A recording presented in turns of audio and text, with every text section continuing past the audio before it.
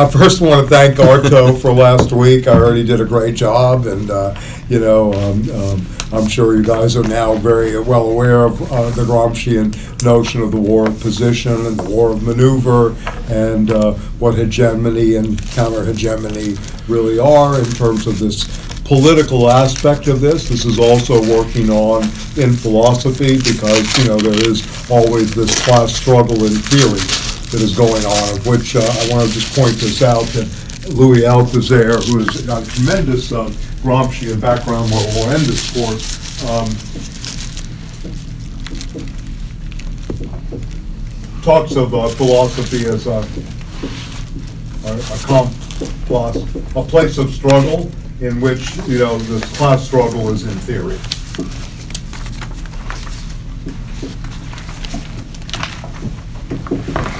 Right? I mean, he's not denying practice, but part of the philosophy is a class struggle in theory. And he's obviously taking this up from Gramsci's war of position. Where we are today, we're really in the educational state apparatus. This is really where the the, the struggle is to win, win, you you know, win over common sense, as I mentioned two weeks ago. Again, a, a crucial term in Kant. So Kampfplatz comes from, uh, from Kant. You know, it's a German word, struggle of ideas, a place of struggle. And uh, this is where Kant saw the contest of the faculties. This is not such a new concept in terms of the history of, uh, of uh, uh German philosophy. Certainly the um, uh, uh, Kantian notion was basically on the conflicts between philosophy, law, theology during his period, right, et cetera. For Althusser, it becomes class struggle in theory, in the theoretical, right? You can see this playing out. Yeah. So again, uh, the war position, um, for our purposes, is really in what, what uh, Althusser will call part of the ideological state apparatuses that we talked about vis-a-vis common sense as an extension of Gramsci's notion of hegemony and counter-hegemony. Um, and uh, again, this word is, you know, or this, this term is crucial in Gramsci, one of the most complicated, multi-layered, and ambiguous terms in, in his uh, thinking. Uh, at the one, one hand, it, it, I guess I could say it's um, it's not really a negative, but it's a place where, you know, um, uh, value systems are created, uh, common sense of a, a direct, as in sense of a direction, right? How values are formed. You could think of it kind of like the formation of a cultural and collective superego is going on in common sense as well. Um, at the same time, uh, the common sense sometimes is very historical, that this is where the inventory is taking place. How does something become common sense? Part of the historical background and narrative. How did this happen? How do we say, well, how does the slogan, that's the way it is, come about? What did it mean? How does it, you know, happen, right? Um, you know, show me the money. Where does that, you know, come from, et cetera, et cetera, you know? So he's, he's looking at these things and basically how at least in the, this um, um, prison notebook entry we're reading of, um, of Gramsci's on the study of philosophy, how, how philosophy comes, becomes popularized into popular slogans and things like that is also a result of, of common sense in, in a lot of ways. Uh, so, um, you know, in, in other words, common sense has part of the vernacular with it as well. You know, how do we get to idiomatics and the vernacular too? So again, a very complicated uh, term that we'll probably come back to when we read, uh, obviously, Althusser and we read other uh, uh, um, um, theorists that are very influenced by Gramsci. I think of all the people we'll be reading in the next, um, you know, six weeks, um, that uh, Althusser is most directly influenced by Antonio Gramsci. Sartre did not read Gramsci until the 70s. You know, at least this is what he claimed which was very late in his career. Sartre was, uh, you know, legally blind the last uh, five, six years of his life, you know, and, uh, you know, but he did have Gramsci read to him uh, uh, in, the, in the 70s and was really taken by him. Um, I, I don't think Lukács was really aware of, of Gramsci. Certainly Kojève and other people of that ilk were not really taken by Gramsci's philosophical writings or his writings from uh, prison so much. They may have been aware of him, but in terms of influence, not that much, right? So, um, you know, and um, uh, the Frankfurt School, I don't think there's one mention of Antonio Gramsci that I know of. I may have to check again, but I don't think there's any mention of Antonio Gramsci's work or of the notion of the organic intellectual or on hegemony, some of the terms we associate with him, or any reflections on the modern prince and state and uh, civil society. I do want to mention, and I don't know if Arto went there, but something in terms of a background um, to, to Gramsci's distinctions between civil society and the state and what he's doing in some levels with the war of position and the war of maneuver. And this will come up later today when we do a critique of the Gotha program in the other class. But the, one, one text worthy of reading and studying, I mean, among many others, is the Philosophy of Right, 1821 of Hegel. Uh, the philosophy of law, Recht in German, really. It's, um, you know, translated as philosophy of law into French droit um, is, is, uh, is where the distinctions are, are, are drawn out between civil society and the state and the family.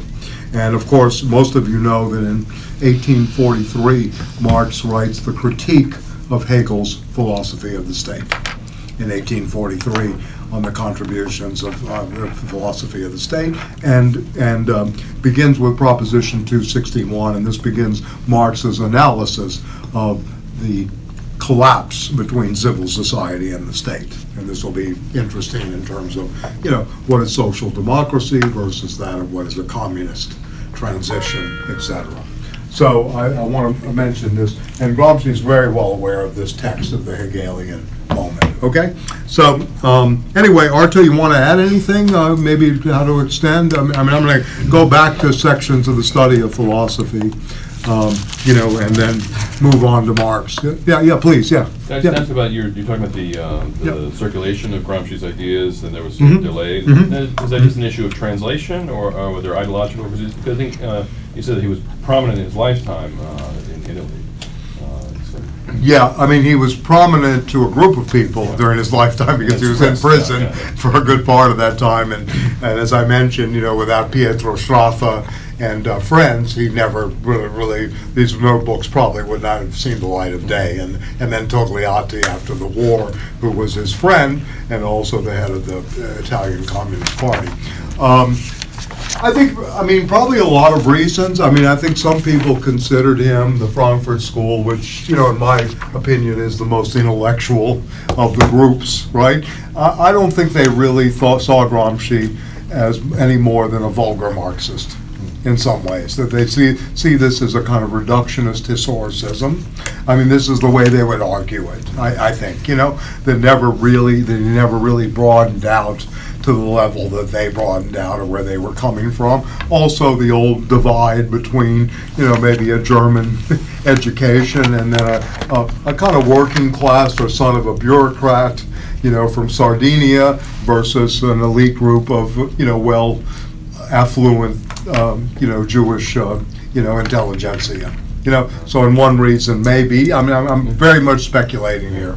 And, uh, um, um, and, you know, the famous saying of, um, of Lukács about Adorno, he took up residence in the Grand Hotel Abyss, right? Which is the title of, uh, of uh, Jeffries' uh, uh, study of uh, the Frankfurt School. So in a way, you know, you're dealing with one, that, that aspect. I think um, also he was not known outside of direct movement circles until the 19, late 50s, early 60s. So in Althusser, because of the party affiliation, the Italians in the French Communist Party, and Althusser was a member of the party, was one who was influenced and read him seriously. Sartre, again, Sorbonne, educated, you know, writer, privileged stipend area of Gallimard, never really encountered him until he made his, you know, the radical conversion to Marxism later in his life after being the quote, father of French existentialism. So in some ways, Kojève, who's lecturing on Hegel, went the went the way of all flesh. You know, he went the way uh, towards, uh, you know, de Gaulle. He became a Gaullist after the war. So even though uh, um, uh, Kojève was an operative, you know, in in uh, um, in France from 33 till, I mean, really for most of his time in France up until after the world after World War, his lectures on Hegel were really lectures that were coded on as Marx right? If you read them carefully, his Kant book is his Hegel book. His Hegel lectures are his Marx, right? Or kind of an amalgamation. So there- these kind of things. So I don't think he's really aware of Gramsci, nor was it the same kind of thing, because Gramsci is, again, you know, trying to rid himself of the Hegelian influence of Croce, this kind of idealism, so it wouldn't play as well to the, quote, French uh, Hegelians in some ways. So after the war, uh, you know, to go back to how this may have been received, you know, the Italian Communist Party put out his work, his letters, and his notebooks, and there became a, a group of people, especially in Italy, who, you know, reoriented this. Obviously, Pasolini helped, uh, you know, as being someone very taken by Gramsci. You know, you had a cultural, you know, renaissance around his writings. Um, at the same time, it was not until um, the middle to late 60s and really in the 70s that Gramsci really entered the United States. And it was Paul Piccone, one, the, uh, the uh, head of Telos magazine, Carl Boggs, a historian and political scientist, um, you know, a few other people that kind of oriented Gramsci studies. And then there was a flourish, you know, after that, that, that, that took off. But mostly not through philosophy departments, mostly through politics, political science departments, and a few history departments. Boggs was in history at, at LSU, um, you know, in, uh, in uh, Louisiana. So, yeah, yeah. Yeah, I think Yeah. also part of the reason is that, um, I I mean, in my, view- my opinion is that Yeah. Uh, people like the Frankfurt School, there- you know, there's this big difference in early, before World War II and in the, on the revolutionary left, between sort of like the actual revolutionary, like organic intellectuals like Gramsci, who Right. was um, thinking of philosophy as sort of like a practical logic, right? And people like Adorno and all the people in the Frankfurt School. Uh, So it's like the difference between um, like Lenin, who's still not considered a major philosopher in the Marxist tradition, but sort of like a vulgar. My teacher said that at the grad school, Marshall Berman. He said, you know, there's a reason why the Lenin reader is like maroon and it's not red. And at this point, like He said that? Yeah, you can't. He didn't say it was because of Robert Tucker's bad aesthetic? you can't take that seriously because they don't understand that, that the high point of the revolutionary sort of philosophical thought was the practical application of the, uh, you know. So I think Gramsci would prob- probably is, is the closest person in, in, in his similarities to a person like Lenin. So sort of the synthesis of, he's read Hegel, Marx, the entire Western philosophical tradition, uh, but he also doesn't have time to write books because, you know, he's in jail or he's part of the Communist Party, he's in parliament and he's doing politics. So, you know, like Lenin said, if he had more time, he would have written books. But he doesn't have time, so he writes par- articles and pamphlets. Yeah. So, uh, whereas Adorno didn't really do any po- politics. I Yeah. mean, he, he did politics in his Yeah. own way, but they were completely ineffective. Yeah. You know, uh, and part of the reason why the German Communist Party was so ineffective, I mean, they would they would blame like Stalinism or whatever, is because they didn't really have these kinds of organic intellectuals on this level who would combine, you know, an actual involvement with the political struggle with a, a synthesis of the philosophical ammunition coming from from uh, the ideas of the tradition. And I think this is the kind of the irrelevancy Well, of the one- yeah, Frankfurt School. yeah, I think yeah. when it comes to revolutionary politics. You know, they expelled Korsch. Right. I mean, I I don't know. That's just my Yeah, yeah, I just wanted to add to Frankfurt that, I think you raised a good point, let me just add and I'll go to, Yeah. yeah, uh, the, the thing that uh, Arto brings up here that's interesting, Gramsci started as a journalist, he's a writer of the everyday, he's a political writer, he's a, he's a journalist, with an extremely valuable political, you know, But he was education, and but he's trained in philosophy. This is part of this, this kind of educational mix. He's also someone that's very interested in problems of education, per se. You know, what are the schools going to look like? What is this really going to be for the future of the movement? So these are the questions that are going on in his mind. Whereas the Frankfurt School is really interested much more in the cultural apparatus. The difference is Gra- Gramsci knows how to load the gun and pull the trigger, and will do so. Adorno and them will study the gun.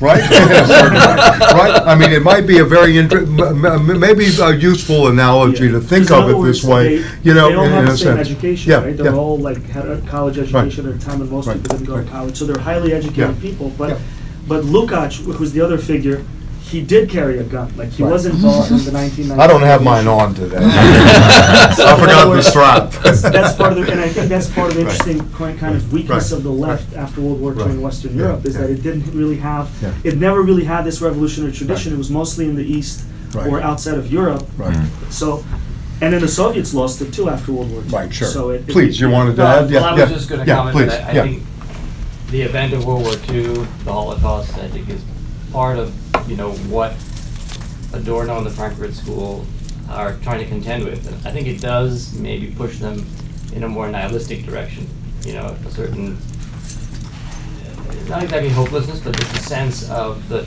termination, the sort of the end of, of it, rather than, and so they're, they're sort of trying to contend with that, you know, sort of time and history have come to an end almost, you know, there's a kind of, how do we restart from this point? So that's how, whereas Gramsci is, you know, situated so, so differently. Well, he's a party member, one, you know, as Arto's speaking about. He is a member of the party, right? He's a founding member of the party. But see, this He's is an interesting yeah, point, yeah, that yeah, that yeah. Adorno and, and Right. Marcuse, they, you know, they, they left, uh, they fled from Nazism. But other people who were revolutionary philosophers did not. Like, for example, there's Politzer, you know, this George great Politzer, yeah, psychologist yeah, who yeah. died at a very young age, you know, because he was a member of the resist, he did not flee. I mean, th- these are difficult questions, of course. But at that decisive moment, the moment of the big fight, you know, between these epochal forces, some of these philosophers did not flee. They fought, you know? Politzer, Gramsci in the West, Sartre did not, I mean, Sartre in a different way. To say nothing of the Soviet Union, all of the major figures, like Ilyenkov, Lifshitz, all the people who were in their 20s and 30s, who were sort of like Lukács's friends, they all literally fought it. They, they joined the army. You know, Ilyenkov's actually ended up fighting all the way until Berlin. So, so it's an interesting, I think, take on what does it mean to be a, a Marxist. You know, you can either, at the decisive moments, you can either take this step, you know, or I, I think this is sort of where Lukács has this dislike of Adorno. You know, when you made that, Oh, yeah. comment. No, about, there's no like, question You did not it, yeah. fight. Yeah. You Maybe kinda they're, maybe talked suffering from a certain kind of bourgeois malaise, Yeah. you know, Yeah. which is, I mean, I don't know if it's understandable, but it's easy to fall into that, you know, if you imagine it in, in, in that But other bourgeois thinkers like Lukács did not. fall. Well, I mean, you know, but you raise the question of, is it better, I mean, if you can flee and you think you're gonna make a contribution and you're gonna be abroad, or do you stay there and risk your life, et cetera? In Adorno, Marcuse, or Horkheimer's case, it was probably very clear to them that they would be, you know, probably exterminated, or the capital would be, and they had a much better chance of making a contribution by coming here. So I don't know if it's just, you know, like a Politzer, he's, he's working in Vichy, France, he's arrested by the Gestapo, he laughs at them when they try to interrogate him, he's giving lectures underground all his life, this is, you know, someone who, uh, you know, was very well connected to, you know, he's a very good friend of Jacques Lacan, you know, in, in, in, in some ways. So I think the interesting thing here is, though, did the party create right? The part because the Frankfurt School were never members of, the, of any party. They never had any party affiliation. They never had an organizational structure except the intellectual organizational structure of the institute.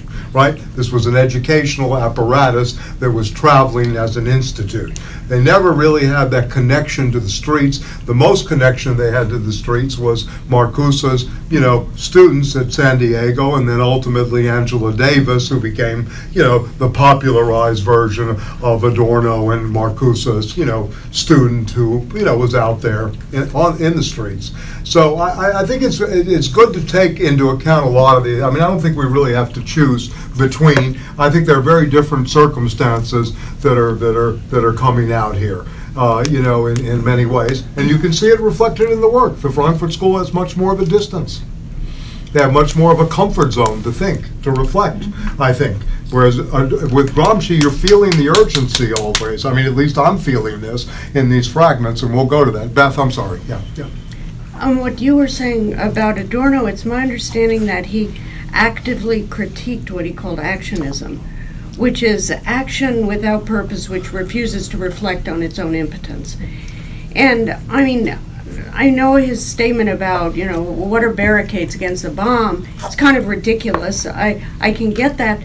But wasn't that a product of his time and of his seeing the, the complete irrelevance of the left in the face of the fascist attack? And I mean, ca- I mean, you can, you can kind of understand where that comes from. But this is where this is where he deviates from the tradition, which is not a problem. But for example, it's very interesting because I was reading um, sort of Marx um, through filtered through this Heideggerian kind of thinker, uh, Schürmann, who's Michael's teacher, one of his teachers, Reiner Schürmann. Right. And the, the, the, the, the whole point of Marx was that Marx himself, when he elevated the proletariat into the revolutionary agent in the Communist Manifesto, there's no objective basis for him at the time to have done that. Like the proletariat was very small in Europe, right? We're talking about small society, a number of people, a small social class within a mostly peasant society. Um, but Marx, to himself, basically this was the thinking, and this is sort of what Gramsci replicates and kind of develops and Lenin and all this other tradition. So the, tra- the Marxist tradition forks, and Marx basically said, you know, I despise you know German liberalism and liberalism in general. So if we're going to fight revolutionary politics, we have to not counter the effects of capitalist politics, but its very premise, right? So this becomes the, the starting point of, of Marx himself, like for his politics to call yourself a, a, a communist or whatever means you, you challenge and you negate the very premises of liberal society, right? Not its effects, not the inequality, not the imperialist violence, not the you know the exploitation at work, but the premise of the society, right? So in order to fight that, though, you have to create a new political force that doesn't exist. So it's a process of invention. So he basically designated this thing called the proletariat as a revolutionary agent. So it was, it was an act of, of uh, political strategy, right? The Hegelian negation, rejecting capitalist liberal values, uh, happened by inventing a new revolutionary subject, which was only an invention in Marx's time, in the beginning of Marx's time, Right. but it became a reality hundred years later by Gramsci's time, right? So, so, so, uh, and you act accordingly. Now, Adorno's, I think, and the Frankfurt School position is different. They don't necessarily follow that particular Marxist um, um, uh, energy, that, that kind of inversion. It's a different kind of a take on, on, on how to deal with capitalist politics, and I think that's the big difference. And isn't, isn't at that point, aren't they, I mean, the the Frankfurt School, by the time they get here, uh, especially, like, they're trying to figure out what revolutionary subject can possibly exist, Right. rather than having a revolutionary subject Right. to write strategy. Right, how do you reinvent, to go back to the invent, by the way, Stephen Marcus to wrote a very good you have to essay. In other words, they have on to take that the action. proletariat. If it failed, it failed. But in other words, you know, Marx said that capitalists always invent new things. They always invent new. That's part of its creativity, right? It always destroys the thing that it exists. It doesn't care about the present. It always has to has an eye to the future, right? It welcomes Yeah. welcomes it. But but the left kind of forgot that by by the 1930s, especially, right? And especially in the West. And they, they just sort of forgot that you need to invent. You can't just think about how to invent it, but you actually have to do it. You know. Well, You yeah, have to the- I do mean- you have to take that plunge. I mean, the crucial subject matter here is where is the agent? What is revolutionary agency at this point? For the Frankfurt School, revolutionary agency did not really exist at, at a certain moment. What they were really doing is trying to understand what are the mechanisms that are produced, and you, you said effects. I think it's better put, you know, if you just say, what mechanisms can we study here in terms of the F scale, the fascist scale, the authoritarian personality, the use of propaganda and language, all of these things, as well as philosophically trying to stay within a materialist standpoint. So I think they're all coming from the same premises, you know, not that the the Frankfurt School is against revolutionary upsurge. I think the real question here is really, who is the revolutionary subject? Who is the agent? And for, for Marcuse, it's clear during the 60s that he, he basically has forgotten the working class. There's no proletariat to him as agency anymore. It's students and coalition with the third world. He says this explicitly, you know, in his in his later writings in the '60s and early early '70s. This is the new agent in a way. You know, some people thought that the Black Revolutionaries, the the Black Panthers, were kind of like the the avant-garde of this. So this this has always, I think, been a real real problem. Lukács, you know, was always about agency, his own agency, which is admirable in his case that he actually lived it, practiced it, and you know, et cetera. It may have hurt his thinking at certain times. Some people think this that the socialist realist phase kept him away from experimental writing, which had a great force on people. You know, he didn't read Joyce, he didn't read Kafka, he didn't read Faulkner. He never really studied these people. He wanted to stay in the historical novel, right, et cetera, and, and see the novel only as epic form and you know, and in its dissolution, he didn't really go the way of experimental work. You know, the Dadaists and the Surrealists were anathema to him, whereas to Benjamin, the Surrealists were something, to Adorno, they weren't. So you have all these really, I mean, very strange complexities around everything from art to agency to the political implications of, of this. I'm sorry. Yeah, yeah, go ahead, yeah. Oh, Well, I think the Italians, because they had an active resistance during Right. World War II, which you can see in films like Open City, Right. and you move that all the way to the Red Brigades and Negri and all of them, you have, well, is that too Negri, Negri would, no, it's, I like the leap, but I don't think Negri would say he went to jail I- for that trumped-up charge of Then being the he would- theoretician of the But if he Red were here Brigades. now, he would smile. He, he would kind of smile, yeah.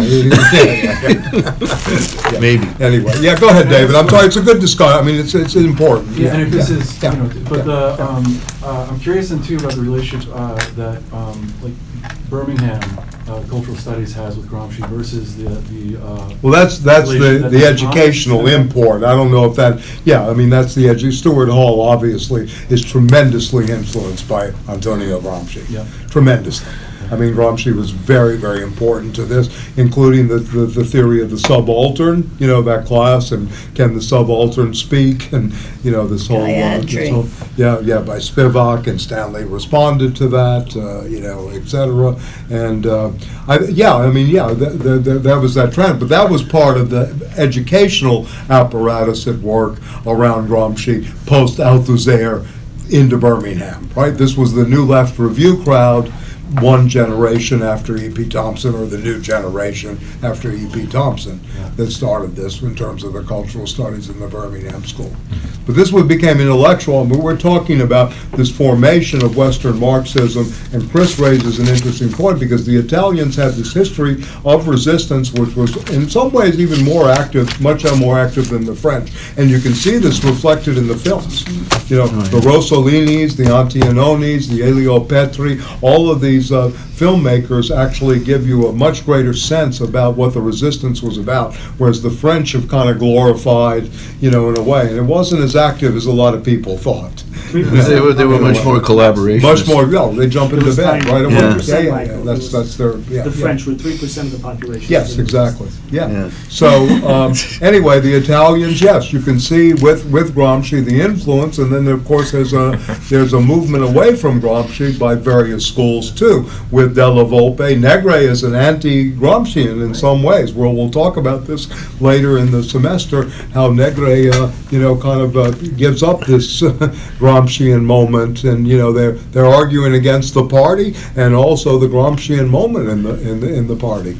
Yeah, I mean, this is the Negri, this is the autonomy, uh, autonomy um, uh, group, right? The um, of the of the seventies, uh, going back to the the red the red the Rosa Brigado. Yeah, in, in a way.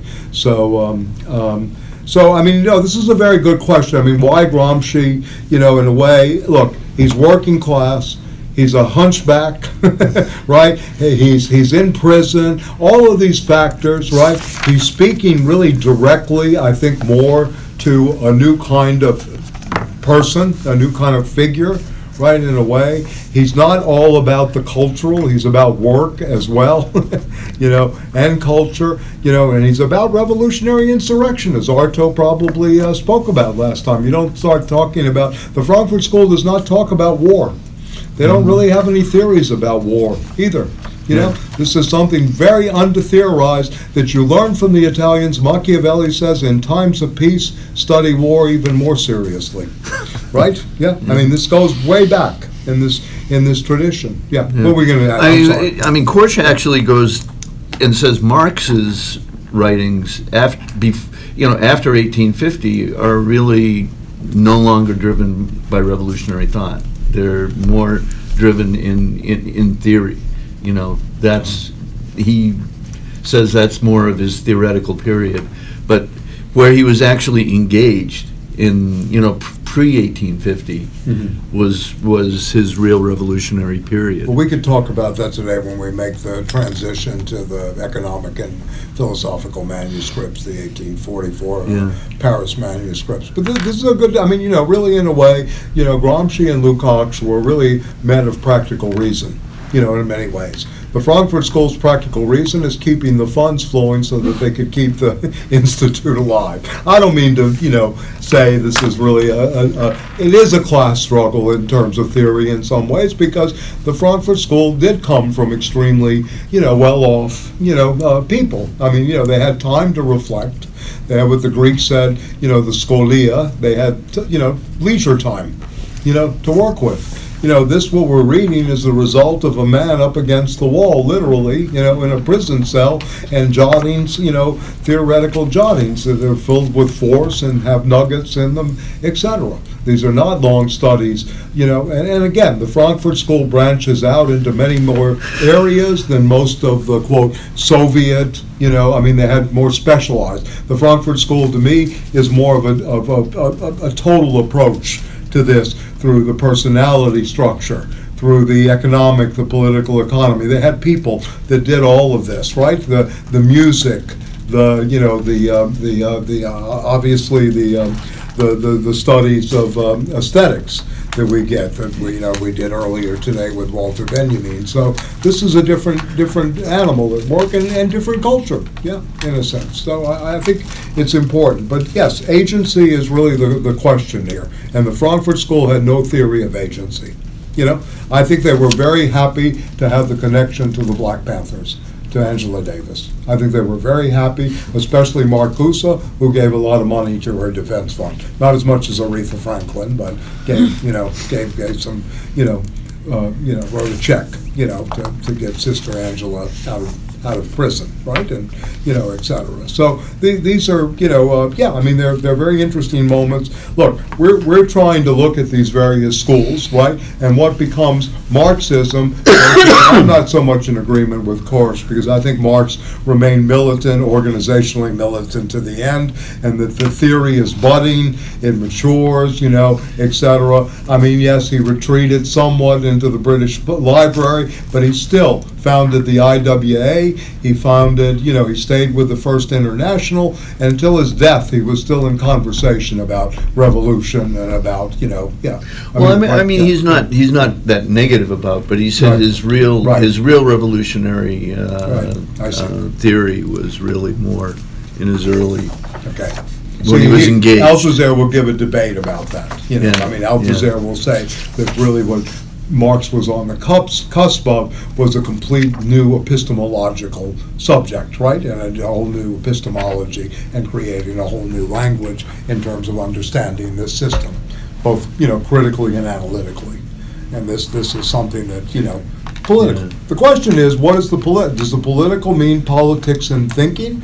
Is thinking agency? Is Castoriadis, when he says in 1964, we have to think before we act?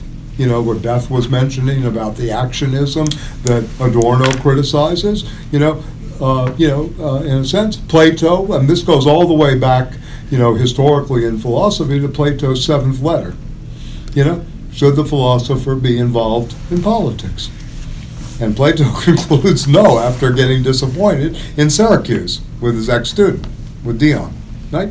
So this this goes way back. It's a it's a you know in, in a sense Aristotle's run out of Athens. Socrates is sacri- you know is killed, right? I mean even though Nietzsche says he had a death wish, you know it, it's you know so it's interesting in that moment. You know should there be you know and Badiou brings this up. I mean even Badiou, who's really in some ways you know a um, Uh, how should I put this? I mean, it's a kind of Maoism in philosophy. There's always this conceptual overturning going on and, you know, a kind of revolution in thought always operating in his, in his history. Even he will say that sometimes th- there, there's that separation that needs to be maintained.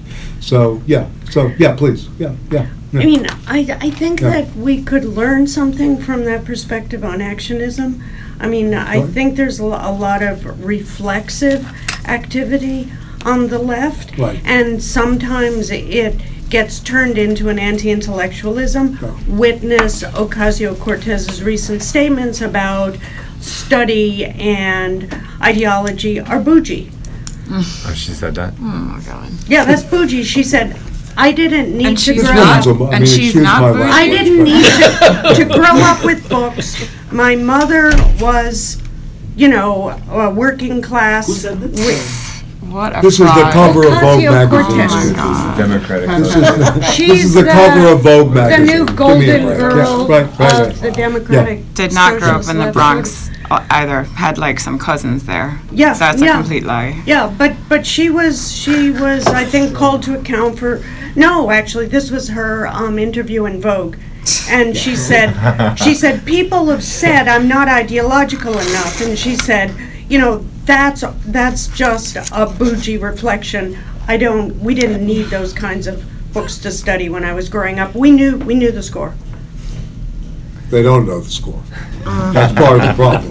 If they really knew the score, we could, we could really follow But that's this, kind of they my don't. point That's about, of the problem. about Yeah, um, yeah. thoughtless actionism. Yeah, yeah. You know, we know what to do, we just gotta be in the streets. Oh, or do these, you know, funeral dirge demonstrations. Look, thi- this opens up, you know, Gramsci, Right. uh, again, one of his I great mean- contributions, and this is Marx really in a way, and Hegel in a different way, that there's no What real do they distinction accomplish? between theory and action. There's no real distinction between theory and practice. mean you. This is something that was created by the Cartesian dualism. There- He's always working in this tradition of this, and that unless we, unless we have this theoretical investiture and constantly are struggling with this in a way and know it, right, we're gonna be lost. You know, I mean, we're just sitting ducks for this, you know, in, in, in so many ways. Yeah. I mean, this, this, this is the, really the problem. And Gramsci's one of the first to, to say, this is dichotomous thinking, what this Ocasio is going through in a way which is so far, not only from communism, it's far from socialism, even from a transitional moment. You know, I mean. This is yeah. never No, no, I what know, I the left was. Yeah. You know, right. in Robin Kelley's wonderful book about communists in Alabama, Hammer and Hoe. communists or Hammer and Hoe. Right. He's got this incredible spine-tingling story about interviewing one of the working class, very poor black activists. And he said, "How did how did you do it?" And the guy opens the drawer next to his bed, which is basically a pallet, and he brings out a dog-eared copy of Lenin and a box of shotgun shells. And he says, "That thar Arto really likes that. that, that's our theory and practice. That's ours, theory and practice. Well, one of the great films Uh, with But, but, but, but that was reading. That Yeah. was reading, you know?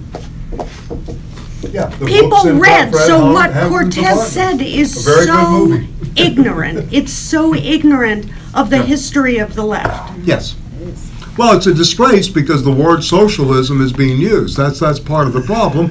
And in a way, what this sets up is incredibly good fodder for Fox News and Yeah. other things. If you've got any researchers at Fox News, they're going to say, this woman's not a socialist. Socialists believe in this. Why are they using this label? What is this Well, I think she's trying to run from it. Yeah.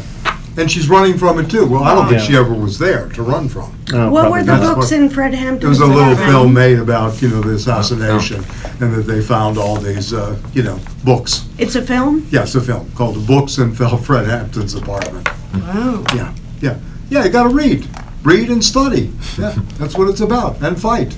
And have the shotgun shells, yes, ready there with the shotgun if you want. With the mean, you know, Lenin. In a way. Yeah, yeah, yeah, yeah, yeah, yeah, yeah, yeah. I mean, you know, in, in a sense. I mean, I'm not, listen, for, for, for, for Gramsci, philosophy is an arm and it's an apparatus of the, of the revolution. The revolution is always first and foremost. And I think in most of these people's mind, I don't think the Frankfurt School thought this was a possibility.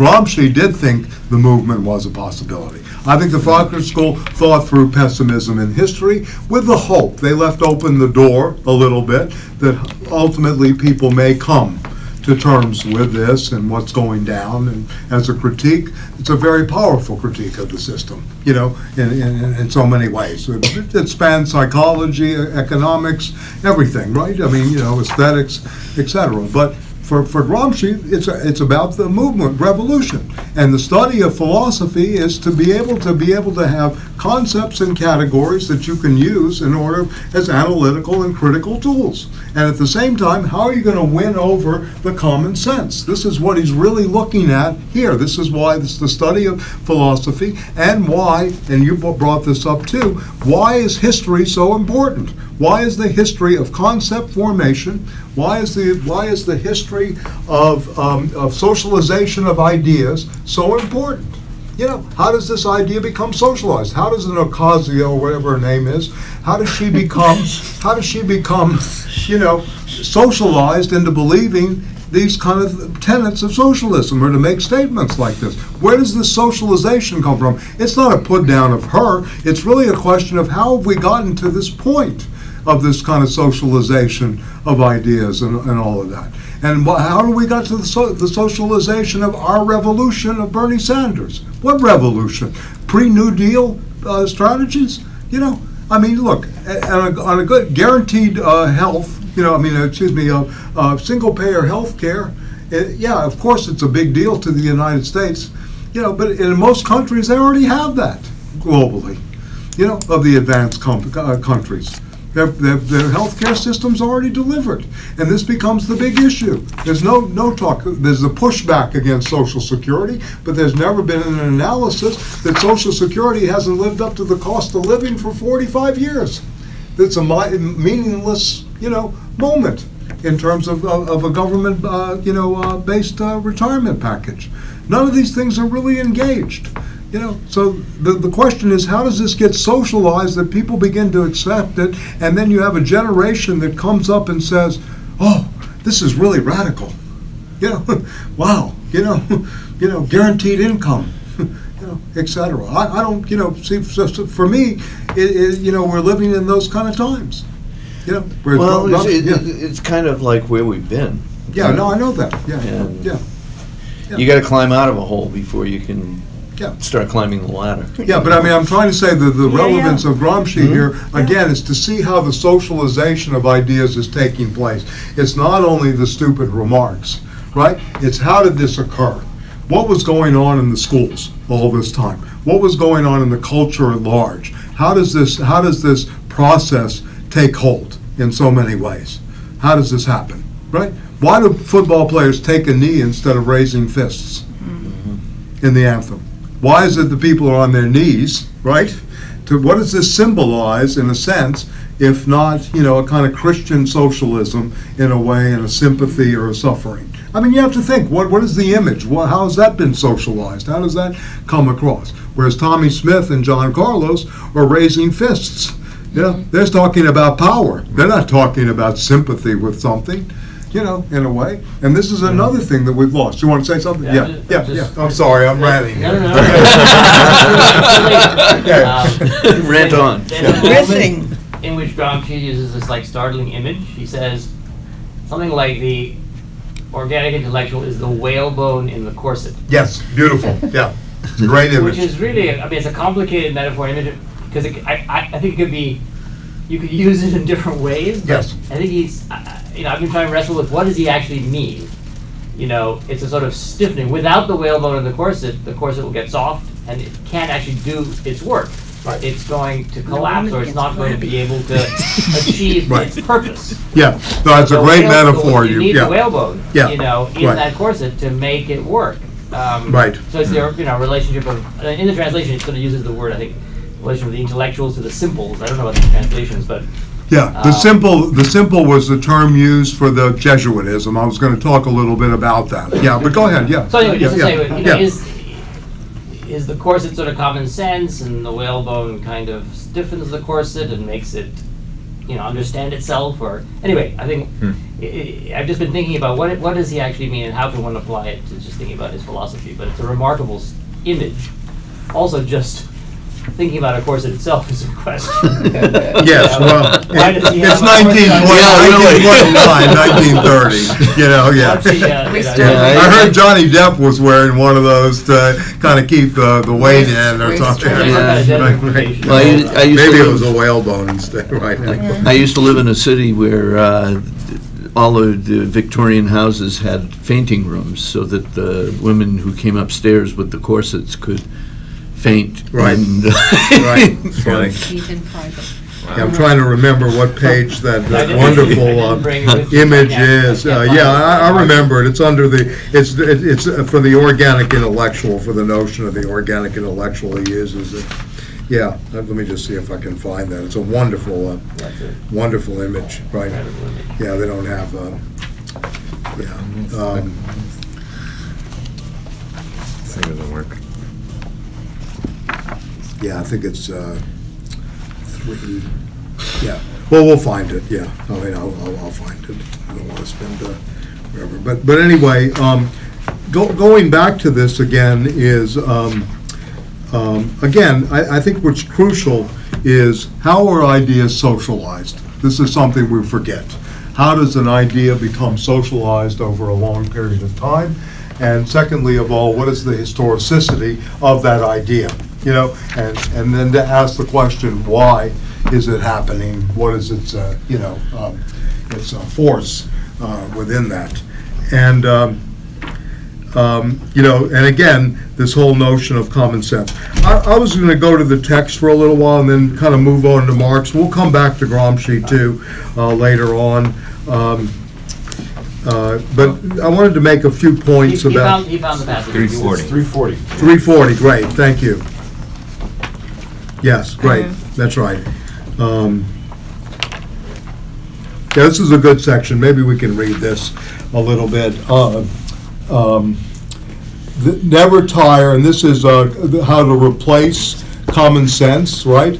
And aim to replace common sense and uh, old conceptions of the world in general. Never to tire of repeating its own arguments, though offering literary variation of form. Repetition is the best didactic means for working on the popular mentality. Again, this is a practical instructions of how to win over common sense, right? Through the repetition, um, you know, and, uh, of, um, of, of, of, of arguments. Work incessantly to raise the intellectual level of the ever-growing strata of the populace. In other words, to give a personality, and this is nice, to give a personality to the amorphous mass element. This means working to produce elites of intellectuals, elites of intellectuals, not a bad word for him. I mean, he's using Michels and Pareto's language, and of course Mosca, who he knows very well, Gaetano Mosca, you know, who wrote on elites, of a new type which arise directly out of the masses, but remain in contact with them to become, as it were, the whalebone in the corset. And this is the organic intellectual, right? Here, the whalebone and the porcelain. The second necessity, of satisfied, is what really modifies the intellectual panorama of the age, but these elites cannot be formed and developed without a hierarchy of authority and intellectual competence growing up among them. It's not just that you're smart or whatever, there's some kind of discipline to this. There is a hierarchy, right? I mean, this is not horizontalism at work, like people talk of today, right? There is a verticality here and higher. The culmination of this process can be a great individual philosopher, but he must be capable of reliving concretely the demands of the massive ideological community and understanding that this cannot have the flexibility of movement proper to an individual brain and must succeed in giving formal elaboration to the collective doc- doctrine in the most relevant fashion and the one most suited to the modes of thought in a collective history. This is a very crucial passage on the formation of the organic intellectual, the type. Yeah, thank you, thank you so much for, you know, pointing this out on what page it is. Um, Yeah, so this is the organic intellectual, and, and you can see that the footnote here in the books, if you have the Quintin Hoare, on pages five through 14 in the text, he does, he does elaborate more about the traditional intellectuals and the organic intellectuals. So if you want to take, this is a crucial term in Gramsci that the Frankfurt School never really used, even though it could be applied in some cases to what they did, but this notion of the organic intellectual, right?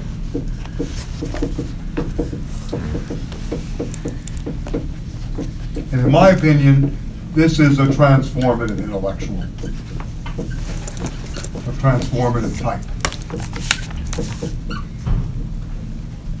So for me, Jean-Francois Lyotard is a traditional intellectual, even though he's brilliant and he gives a beautiful, you know, assessment of the postmodern condition, whereas a Michel Foucault, who has elements of both Gramsci and the Frankfurt School, is a transformative intellectual. You know, it's a big difference. Derrida to me is a traditional medievalist scholastic, right? But anyway, he's not really a transformative intellectual, even though if you're a reader, reader, you're going to be transformed by the text. But in terms of the politics of the text, you know, has to be rethought, right? Yeah, go ahead. I'm- I'm- Yeah, it was interesting in that, uh, that talk by uh, Mouffe. uh, The, g- yeah, right. I'm sorry, yeah. No, it's okay.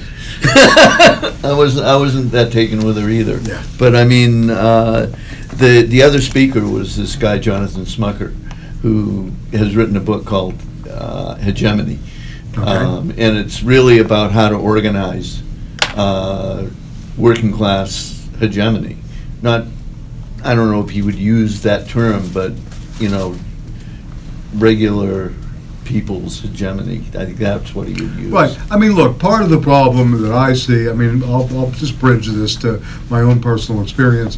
In the union movement, labor union movement, and even in academic unions, people don't know how to read or study. Right. This is a problem.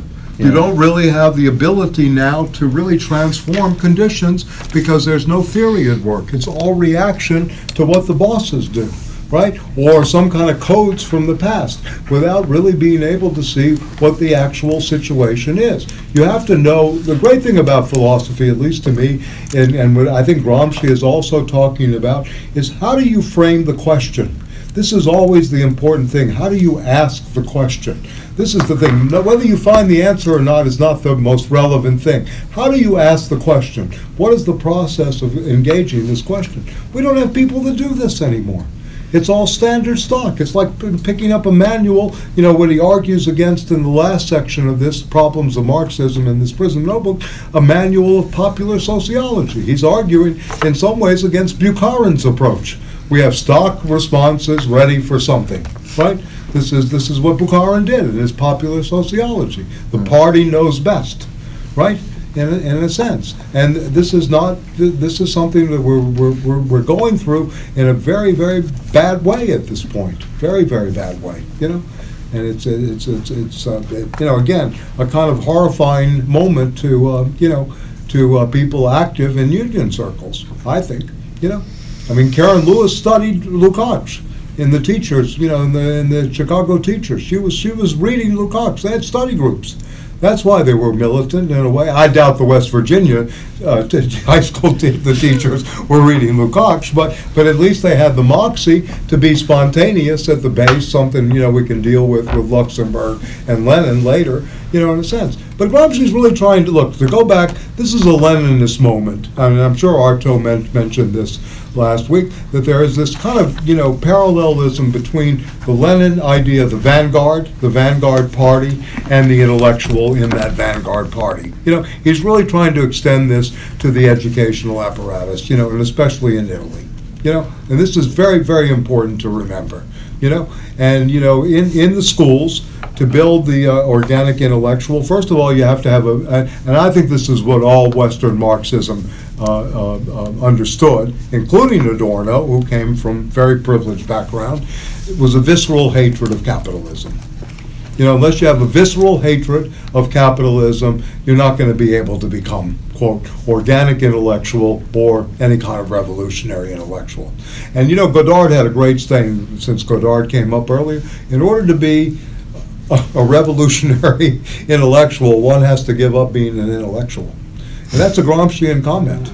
Yeah, in order to be a revolutionary intellectual, one must relinquish being uh, an intellectual. Or like Marx. Or like Marx, By absolutely. saying, in order to change society, you have to stop Right. doing philosophy. And the In order to redo it again, Right, anew. Exactly. And, and the educators must be educated themselves in the the- thesis on Feuerbach. So I think all of these, you know, kind of propositions are playing very actively in the formation of Antonio Gramsci and his, his message, you know, which, you know, sometimes comes across as didactic, at other times very free and open, you know, I mean, it's, you know, you can go through the, the style here in multiple cases. So I just want to point out some things that I at least found interesting, and I'm certainly open to what you're, um, what you're, what you're thinking. Um, um, let, let me just uh, go to something, the section on catharsis, which is later in the uh, study of philosophy. This is on page, um, uh, boy, let me see. Uh, yeah, it's on page 366, the term catharsis, and this is a very original way of looking at catharsis. The term catharsis can be employed to indicate the passage from the purely economic or egoistic passional to the ethico-political moment, that is, the superior elaboration of the structure into the superstructure in the minds of men. This also means the passage from objective to subjective, from necessity to freedom, which of course is Marx. We must pass through the realm of necessity before we can even speak of freedom, much less experience it. Structure ceases to be an external force which crushes man, assimilates him to its, himself, itself, and makes him passive, and is transformed into a means of freedom, an instrument to create a new ethico-political form and a source of new initiatives. To establish the cathartic moment becomes therefore, it seems to me, the starting point for all philosophy of praxis. What Arto just mentioned, philosophy is dead, long live philosophy, let's create a new, you know, etc. And the cathartic process coincides with the chains of syntheses which have resulted from the evolution of the dialectic.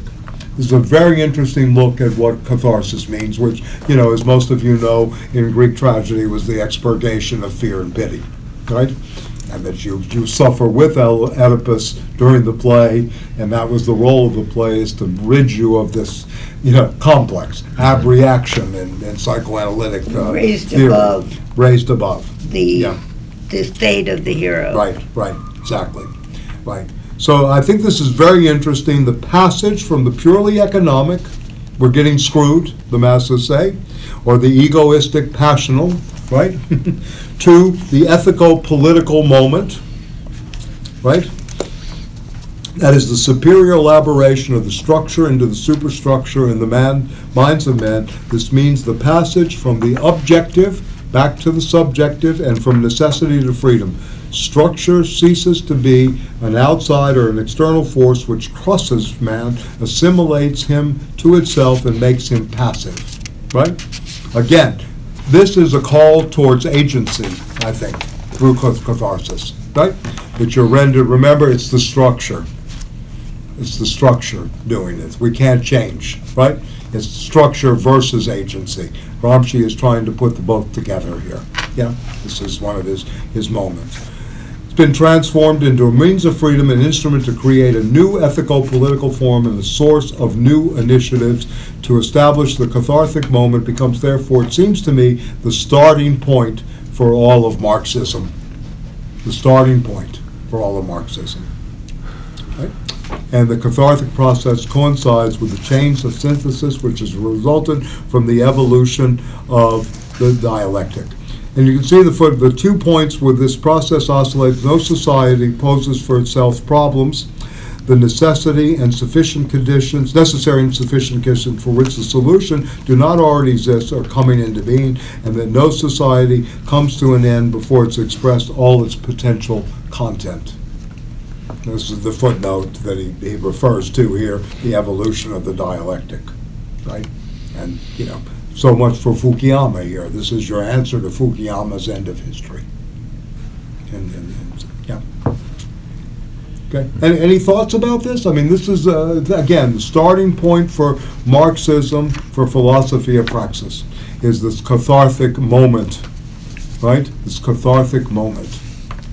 A passage from the objective to the subjective, from necessity to freedom, the movement out of the economic to the etho-political movement, and you can see in the footnote there too, the Crocean system, you know, he talks about the, the particular economic or corporate to the universal, you know, he speaks of this, uh, to to go back in the, in the, the section on language that we read two, three weeks ago, you know, about the dialect, right, is open and prone to the economic, economistic, corporatist kind of, uh, you know, uh, behavior, right? This is the sitting duck. And go back about today's discussion, for those of you in the Benjamin uh, session, uh, you know, how fascism appeals to a certain kind of, you know, aesthetic, right? How it appeals to a certain type, you know, in terms of the aestheticization of objects. right? So, any, any, any? Speed. Yeah, speed, well, of course, yeah, yeah, It speed. it could, I mean, it could be interesting just to think about Gramsci in relation to the economic and philosophic manuscripts, you know, just. Yes. Just trying to think of the, like what you just, what you just read. Yes. What Marx lays out there, both in his critique of Hegel, but also just in his kind of articulating of the reality of, you know, what's translated as man. you know, Right. What is man? is- Right, So I'm just kind of just thinking about the two in relation to each other. Right. You know, what is Gramsci's relationship to something like the economic and philosophical? Well, first of all, he's in prison when they're published. I mean, if you want to look at this textually. I think he's, yeah, I mean, the economic and philosophical manuscripts are not discovered until 1932. So Gramsci has already been arrested since 26 and has been in prison uh, from 28 on. So He he's hasn't read already. He four hasn't- he years. hasn't read them. No, he never read. As far as I know, he never read the, the so-called Paris manuscripts. They're called the Paris manuscripts because that's where he- Marx wrote them. When you go into this question of man, yes, Marx is still in, in, in, in, in indulging himself, if you will, and this is a critique that Althusser, Heidegger, and others have of, of, of the early Marx. He's still in the anthropological moment. He still speaks of man, and he speaks of species being, right? Doesn't speak of the ontology like a Heidegger does, or ultimately, in, in, in Althusser's case, a, a kind of post-humanist, you know, So to what you just said, which I had no Yeah, idea sure. which is an, uh, actually sort of an amazing thing to know, to think, that Yes. he didn't read that, didn't know it. What of Marx did Gramsci know and read? Well, I'm sure, I mean, I'm, I know he knows capital, Okay? you know, because he wrote a piece called The Revolution Against Capital, you know, and he read Capital very seriously. I'm sure he read philosophy of, uh, the, the critique of the philosophy of right, the critique of the Hegelian system to a degree. You know, he, he understood this very well. I mean, remember that Gramsci is coming out of a Hegelian Marxist tradition. You know, it's Croce who is his idealist you know, antagonist in all of this. You know, his, his teacher and someone he admires, and Croce never went the way of Mussolini completely, but was not attacked during the Mussolini period, during the fascist uh, moment. So, um, yeah, I mean, I think he knew he knew a lot of Marx, yeah, and he knew a lot of Lenin. You know, we, we talked about this too. That you know he was in Moscow. Lenin was very admiring of him in his conflicts with Bordiga, right, and uh, with Amadeo Bordiga and the and the party and the movement. But at the same time, I think that you know he he he no, he was not aware of the Paris manuscripts unless it was completely by hearsay, and I doubt the other Italian prisoners next to him were getting you know out of the Soviet Union the latest word on uh, you know the Paris manuscripts. Yeah, but there are connections, obviously, and that they're thinking the same way. And, you know, one of the criticism, again, going back to the Frankfurt School, Gramsci and all of this, is that Gramsci stays in the anthropological. This is philosophical anthropology, and it's not a, a post, right, kind of philosophy that goes beyond what is man. Right? Yeah. So this is another another thing that uh, you know he's been been been criticized from from the standpoint of philosophy.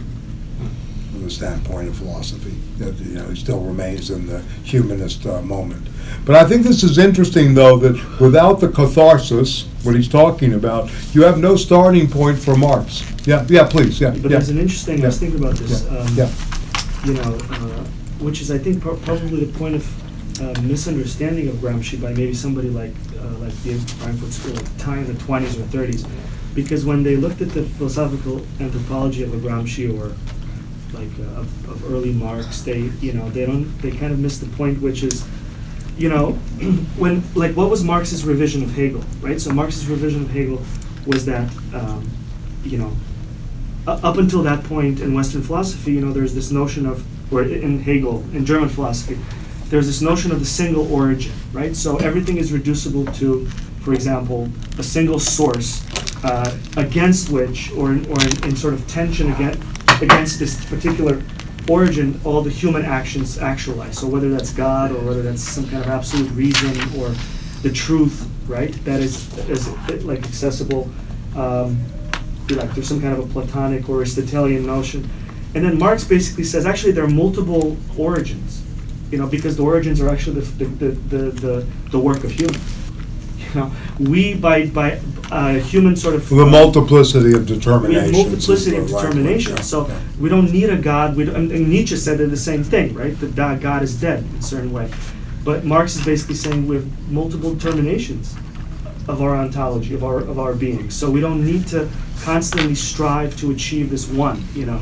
And Gramsci already has internalized that. He doesn't need to sort of pay homage to. Of course, he's going to focus on the human because the human is actually the the origin. You know, he doesn't need to concern himself with uh, objectivism or some kind of uh, pursuit of, of logical truth, the way, for example, um, uh, scientists do, right? Yeah. The way post-Cartesian, sci- like contemporary scientists be like, this is objective because it's true, because it's verifiable, because of this or that. And in the Marxist language, which builds on Hegel, is just that unlike Hegel, I don't know if that's true about Hegel either, because I don't know Hegel that well, but, and the more I read about Hegel, the more I realize that he's very close, to, Marx is very close to Hegel. Um, there's already, already a multiplicity, in other words, the world is open from our point of view, and, and we are sort of masters of our own destiny in a certain, that's like a simple way of, of saying it, but we don't need to obsess with uh, removing ourselves and our thinking about our, our world, because that would kind of move us away from the truth. You know, there's no need to do that for Gramsci, because he's already uh, internalized and, and, and abandoned any kind of desire to like understand capitalism or revolutionary politics by appealing to some kind of truth that's outside of a human, you know. And I think in that sense, maybe we could say that Althusser's reading might have missed this kind of nuance later on. That would be like an interesting question.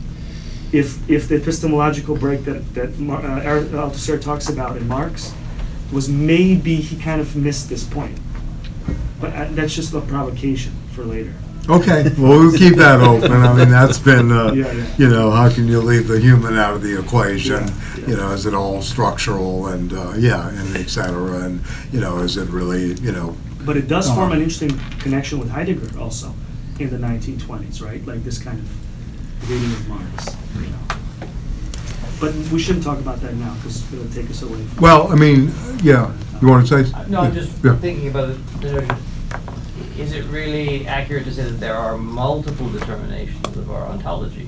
Because, I mean, there are multiple, if the multiple determinations are cult, is, is maybe culture, but on the level of ontology, there's really just species being. It isn't, there- it isn't a, mu- there aren't multiple determinations of species being. There is nature, full stop.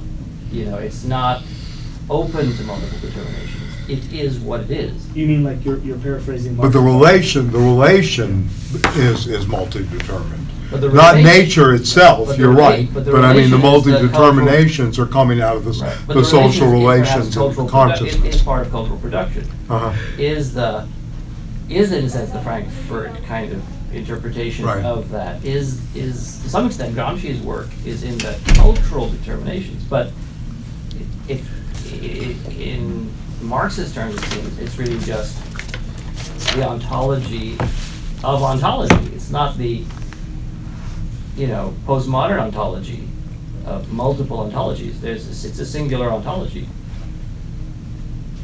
Well, I mean, the ontology, I mean, look, if you, if you look at onto, I'll, I'll do something here. I don't know if this will help, but this is a kind of a generality one, if you will. You can think of ontology in our epoch, you can think of, you know, being, right? You think, think of being in, in, in certain epochs. And since the Enlightenment, we have Marx, being as value and being as production. Right? The ontology is really an ontology of productive, you know, being, or also the question of value. In Nietzsche, being as power. Right? Even though there's overlaps, but this is really their discovery ontologically. Freud being as desire. Right? And this kind of forms our modern, you know, moment, if you will. Right? In many ways, right? You know, this is, this is what happens with, with being. So the ontology is really power, desire, production, right? In, in some ways. And then Marx's discovery is, you know, productive being, species being, right?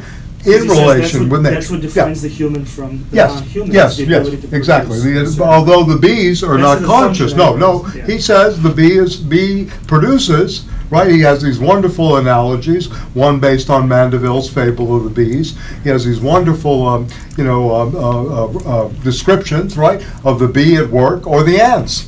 Perfect, Aristotle. perfect division of labor in all of this, et cetera. But what they're lacking is consciousness, right? So that's another thing. You have being and consciousness working together, which opens up the question that Heidegger, I think, very, very, very, uh, uh, one of his best moments, right, when he says, we must interrogate the being of consciousness of our era, right? We must interrogate the ontology that, uh, of, of, of consciousness itself. And this is where Heidegger begins to deviate from the humanist tradition, etc. So one of the things I, I think you're bringing up, I mean, I'm trying to, you know, I mean, again, just frame this. Yeah, yeah. Um, one, one of the things I think you, you- you're bringing up is, is, is, you know, where is man in all of this? Where is man's place, right, so to speak, or the anthropos, or man and woman, or the human species being? So I think it's more productive to not think only in terms of species being, because I think that language is dominant, you know, and Marx, you know, as you know, wanted to dedicate the second volume of Capital to Darwin, right? Very much think Darwin said no. He wrote him a letter. And, uh, but anyway, to to get away, to, to, this, this, this language of species being, if we begin to think it as ontologies of power, desire and production, we're getting into something, you know, more quote structural, you know, and less, you know, quote unquote, always anthropomorph-centric, if you will, right? In a way. Because we're, what we're really trying to do, I think, I mean, you know, going forward, is to de-center, you know, the kind of egocentric, if you will, or, you know, human-centric, if I can use a term like that, you know, approach to all of this, right? In, in, in a sense. Yeah, please, go ahead. I'm Especially with the machine age and all these other things we can, you know, extrapolate to. Yeah, yeah, go Um, ahead, yeah. If, uh, if I'm understanding it right, the, Yeah. part of the, the, the the way that we can see the break between the humanist Marx and, and the later Marx is that by, um, like chapter six in uh, Capital Volume One, when he's talking about the production of labor power, Right. it becomes very difficult to fix uh, like an essential species being because the subject the subject is capital and capital produces different kinds of subjectivities that capital needs. So so the Right. production of labor power means the production of certain kinds of people Yes. to occupy a Yes. certain kind, certain position in the division of labor. Right. So once he sees, once he starts studying the structure and the way the structure produces forms of humanity, Right. there's no way then to talk about a central species being Right. Agree is the that. same no matter what. And that's an Althusserian position, and that's a position also of what, uh, uh, in the Marxist tradition, you know, the human is not so much the element, it's the support, the structural support, the trigger. That's what you're destructuring. This is what a Negri does so well in terms of destructuration, in terms of his readings, not only in the Grundrisse, and we'll see this maybe in Time uh, uh, and uh, for Revolution later on uh, when we read that. Uh, um, Yeah, I mean, I think that's important because, again, look, we're, we have a socialization of ideas problem too, right? We, we're kind of brought up on, you know, the, uh, the, um, uh, the economic and philosophical manuscripts, you know, man's alienation. We're, we'll talk about this. We're, we're brought up on these kind of terms.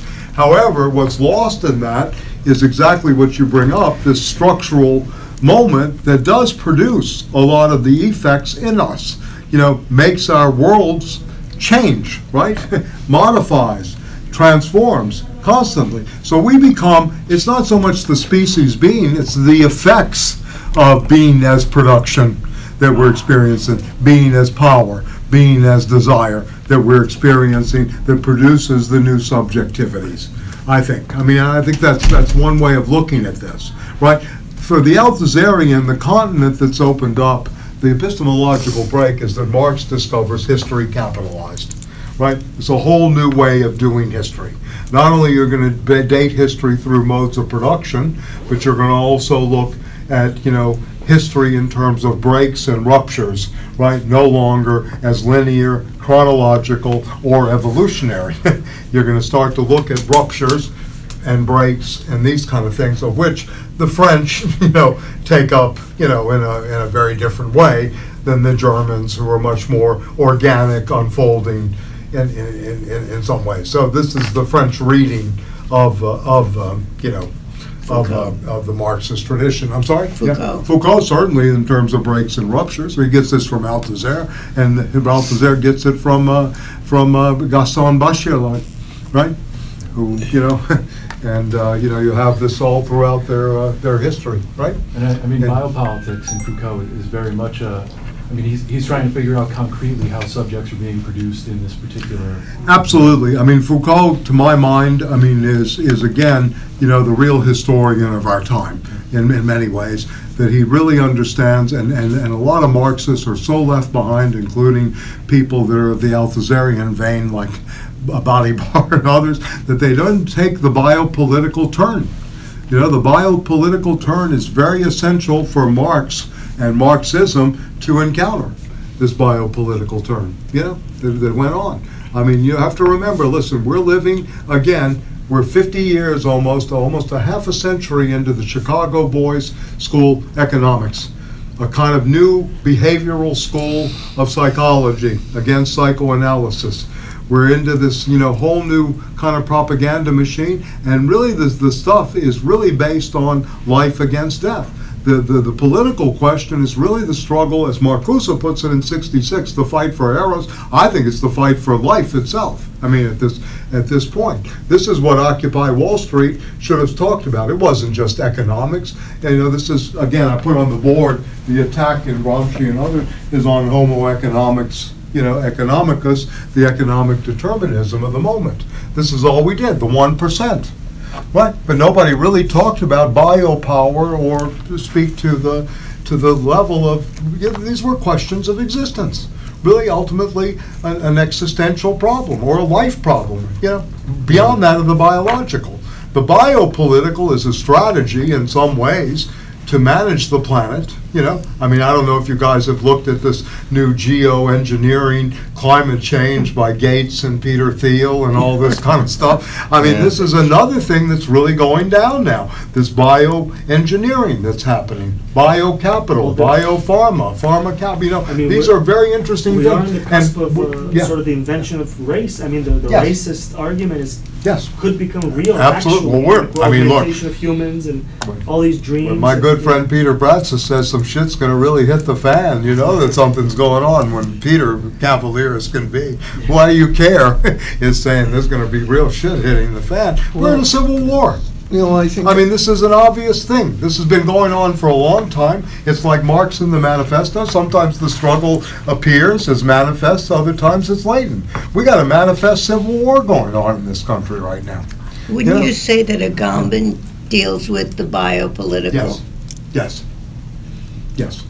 Yeah, Agamben He's is moving another one, forward. but he's very pessimistic. Uh, Agamben is more out of the Benjaminian Adorno vein and Heideggerian vein than he is out of the Marxist. Whereas Foucault, I think, incorporates a lot of Marx into his work and a lot of the Frankfurt School. Yeah, a lot, yeah, yeah. I Well, mean, I'm uh, just trying yeah. to think, where's the biopolitical going after Foucault? Well, oh, you mean who are the thinkers? Yeah, who? who The are- thinkers are, are really, uh, Agamben is probably the most representative of this. Yeah, I don't know if you guys, you know Giorgio Agamben at all? Uh, a little bit, yeah. Um, um, They're yeah, um, Homo sacer. Uh, I mean, he, he, he's rethinking the, the, the term that you probably brought up, uh, nomos. You brought up nomos last week? No, you didn't. Okay, you're going to teach a course on that, though. huh? Right. Okay. All right. Uh, the nomos, um, the nomos um, uh, um of our, our time is really we, the concentration camp. We really live in the concentration camp. I mean, we don't see the barbed, wire, you know, we see it at the borders and, you know, in certain places, but he thinks that the modern construct is basically the concentration The camp. city is a camp. The city is a camp, right, yeah. the city State is of camp. exec- exception. State of exception, we're always living in this, and state of exception is words used in the Third Reich. Hmm. You know, this is another thing, why hmm. language is so important and why history is so important, because it does repeat itself. Maybe in different forms, maybe the first time is tragedy, the second time is farce, the third time is pastiche. You know, we can go through all kinds of literary genres to see this, but it's very important. And, and I, I don't think that the, uh, the, the rulers are that stupid. I think they want to eliminate history because history makes one dangerous and educated. And you don't see this privileging of history in the schools anymore. These kids that come to university don't have any sense of history. I hear stories of PhDs in history don't know when World War One, uh, World War Two ended, much less World War One. Right? You know, they wouldn't be able to situate Marx. Uh, you know, we're going to do the Gotha program uh, later today. You know, they would no idea when the Franco-Prussian War went on. Right? These are PhDs, not not not people just uh, you know out of high school. Yeah. So this this attack upon history, this ahistoricism, is another thing. Another reason that I think Gramsci is very important for educational purposes. Know, this is someone who is privileging the historicist moment. It's not philosophy as an eternal thing or just creating new concepts or as Deleuze and Guattari say, to invent new concepts. It's to understand how that history of philosophy coincided with history itself. What gave rise to these conceptual formations? How does this work alongside of historical materialism? How then does the idea itself, the ideas themselves become socialized into common sense, which we take for granted, we don't question, and we move with, right? And we don't, you know, critique, etc. This is where he's really going, and I think this is very valuable. Which brings me to, you know, there's another section here I just want to emphasize, and then I'll move on to Marx. Um, the, the other, the other um, uh, section is the Jesuitism and Marxism, which he only glances at, but as most of you know, the Jesuitism was formed as the, you know, society Yeah. to confront the Dominicans and the Franciscans. What page? Um, let me see. Yeah. I think it's to in the know. first section, three forty something, let me see.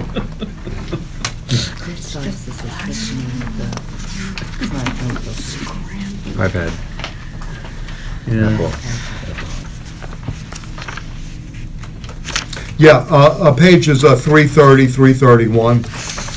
Um, Actually, yeah, uh, I mean, actually going back to 328 uh, about the Catholic Church. But the Jesuitism emerges uh, primarily on page uh, 332 as part of the Counter Reformation. 332 is the page. And the Jesuitism itself was, you know, Jesuitism, the Society of Jesus, was created by Ignatius Loyola, you know, um, of which we have many universities and high schools named for.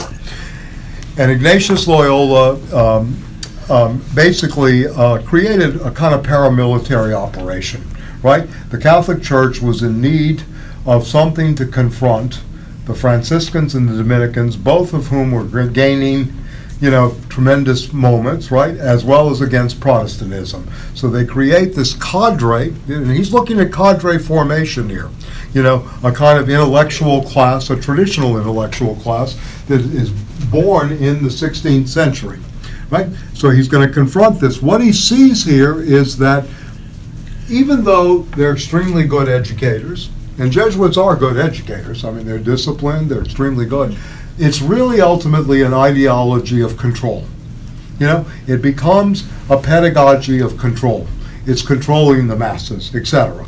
And he'll juxtapose this to Marxism or philosophy of praxis, which he considers to be liberating because it has a higher conception of life, and I think his words are well chosen, higher conception of life instead of higher God, right?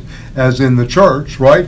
It's the higher conception of life itself in the here and now that he kind of juxtaposes here. So again, it's the winning over in common sense, right, of the mass at this at this point. Yeah. What was the threat of, uh, that the uh, Franciscans and the Dominicans were posing? They, they were getting the poor mobilized, Yeah, right? yeah. I mean, Negri goes back to this, by the way, I mean, since Negri was on, very much so in, in terms of the Franciscans, you know. I mean, Negri's a, a very, a real militant, you know, in a way. I mean, you can disagree with him, but Negri is kind of out of the cloth of Gramsci and Lukács more than a lot of the, uh, you know, other characters on the block here. And very, extremely militant, and, you know, it may be because of the Italian background. I'm not trying to make it a culturalist argument, but it seems to me that the Machiavelli to Marx is a, is a very different animal than from Luther. Yeah, I've To got, Kant. I've got Right, I mean, one of his I'm- early, I'm one of his early yeah, books, in which is Books for Burning. Books for burning. You say that Negri is anti-humanist and Yes, beyond Marx? Yes, yes, very much so. Yeah, he's anti-humanist. I mean, the Althusserian break and then all that happened around that, you know, kind of produced some of the best Italian thinking. Bifo, Franco Berardi, Maurizio Lazzarato, you know, Negri, Franco Piperno, uh, Paul- uh, Paolo Virno, all of these people kind of come out. Anti-humanist, all of them. Anti-humanist, all of them. Yeah, yeah, yeah, yeah.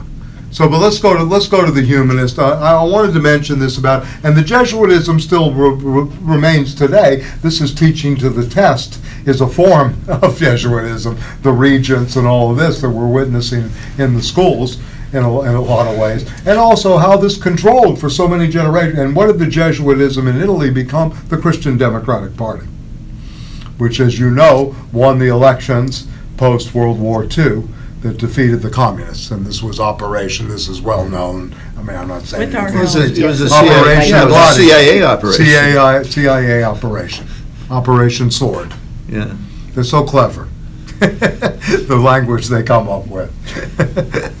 it's like like Rocky Balboa, Apollo Creed is his opponent, right? I mean, you know, all this these codes. This is what Norman O. Brown and Marcuse did during the war. They decoded because of their classics background, and their philosophy background. They decoded Nazi uh, Nazi war codes.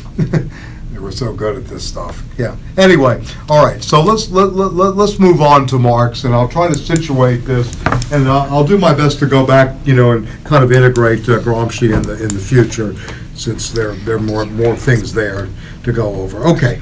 This is a text, like I mentioned, 1844. Marx is under the influence of Frederick Engels. For those of you that have not seen the film by Raoul Peck, I recommend it. Very good, The Young Karl Marx. It's excellent. It has a very special, you know, treatment of the relationship to Engels, and Marx beats him in chess in the, in the clubs. But Engels is the one who introduces Marx somewhat to political economy, right? And he makes him read Ricardo and Smith. So this is Marx's kind of notes on his first encounters, if you will, um, economic ma- manuscripts, his first encounters with David Ricardo and Adam Smith. Okay? Uh, the principles of taxation, you know, the principles of political economy, as well as the wealth of nations. He's reading all of this. And most of you probably know Adam Smith also wrote A Bourgeois Morality, the theory of moral sentiments, alongside of the Wealth of Nations. Wealth of Nations, by the way, is published uh, in 1776 the same year as our great revolution here, the Boston uh, Tea Party, right, et cetera. So, anyway, um, so he, he, he's, he's reading these people for the first time. I mean, it takes much more fruition and years of maturation to really engage this, where he engages these people much more in the Grundrisse, you know, to trace this out in Marx's development, the Grundrisse is the next place where he becomes very elaborate in notebooks on political economy. right? And the Grundrisse being, you know, in German, really the blueprint or the groundwork or the ground ripping apart, you know, notes for the future, 1857 to 58. So this is 19, 18, four- uh, 1857 to 58 is the Grundrisse and the, um, the economic and philosophical manuscripts, 1844. So Marx is only 26 when he's writing this humanist stuff, right? You know, he's born 1818, so this is, this is written in Paris before he's exiled from Paris. Um, uh, uh, uh, you know, and the economic. So I did not assign the economic. I wanted us to look at, you know, categories that are central to the humanist Marx tradition. One being, of course, Entfremdung in German, which means estrangement, estrangement from one's labor, and then ultimately that estrangement, you know, is also legal alienation, another German word uh, that's in the glossary, and and Santrum, and Santrum, uh, you know, that uh, Struik uh, points out. So, you know, you have multiple forms of alienation working here in estrangement uh, in Marx. So this is this is going to begin on page in the uh, Struik, and the Struik introduction is very good, by the way. This is on page 106, Estranged Labor, and um, he, he, I, I I didn't have you read the political, because this is not, you know, a course in political economy, right? We're trying to look at philosophical conceptualization. Uh, The estranged labor, we have proceeded from the premises of political economy, we accept its laws and language, right? So we presuppose private property, the separation of labor, capital, and land, and as you know, the modern trinity, labor, land, and capital, in the, uh, that's the Trinitarian formula, the modern trinity for Marx, the Trinitarian formula in capital, in book three, you know, three components, labor, land, right, and capital.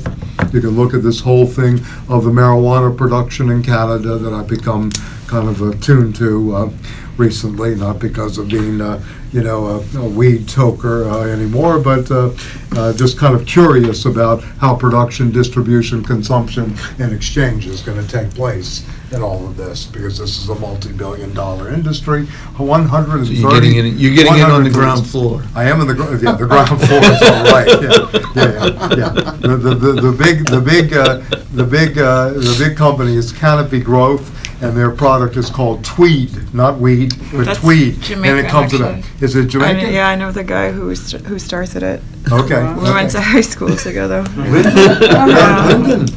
Lyndon? Uh, no, Ra- um, Rawl Haynes. Okay. He's a Tweed guy. Oh, he, yeah, okay, but Canopy Growth has the. uh, Canopy Growth has is, uh, they the- bought The them, I believe, distribution yeah. bought them out, yeah, Yeah. okay, good. That's good, you have good context there, Rachel. It's Yeah, yeah. Jamaica. What's Yeah, yeah, it's yeah, what can you Jamaica. say? Yeah, yeah, yeah, what can you say? Make a Yeah. score for me. Yeah, yeah, yeah, yeah. No yeah. All right, problem. good, okay. So anyway, on the basis of political, we have shown that the worker sinks to the level of the commodity.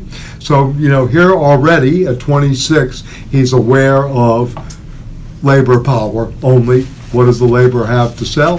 Just labor po- power as commodity, and becomes indeed the most wretched of commodities and that the wretchedness of the worker is in inverse proportion to the power and magnitude of his production. So already Marx is seeing this very well, this whole process of exploitation. Okay? Now, political economy, I'm going to go down a little bit, does not start with the fact of private property, but it does not explain it to us. It expresses in general abstract formulas the material processes through which private property actually passes, and then it takes these formulas as laws. This is a criticism of both Adam Smith and Ricardo. You know, what happens with the fact of private property when they begin there. It does not comprehend the law, it does not demonstrate how they arise from the very nature of private property. So this is the first critique, if you will, of political economy, which, as you know, is the front piece to the, the Grundrisse. And in this book, at the end, they have Engels's, you know, critique of political economy going on. So you have to remember, Marx is not doing political economy. He is basically doing a critique of political economy, right? Remember this. You know, this is not a set of object of Homo economicus or uh, economic determinism, or for that matter, you know, a study only of political economy. It's an outright thorough critique. And let me just point out one definition in the Grundrisse of political, of, of communism is the relentless critique of uh, moving towards real movement. That's what communism is, real movement. Yeah, and in that critique, you're getting the, the, the real movement, right? This relentless critique. So this is what's going to go on in his mind if you want to read with him. It's really accelerated critique constantly, you know, nothing but. Right?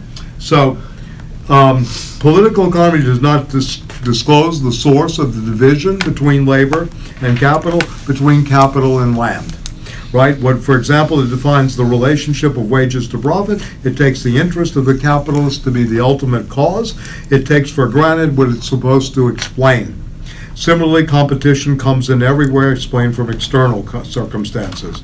And as far as these external and apparently accidental circumstances are but the expression of a necessary course of development, political economy teaches us nothing.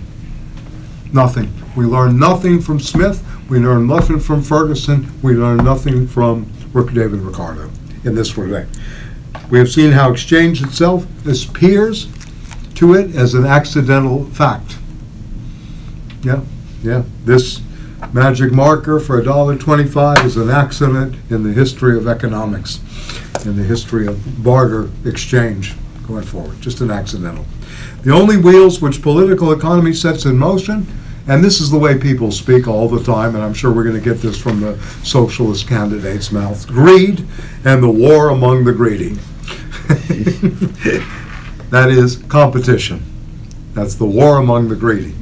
That'd make a good cereal in the morning. War against the greedy. Yeah, mm-hmm. yeah, anyway.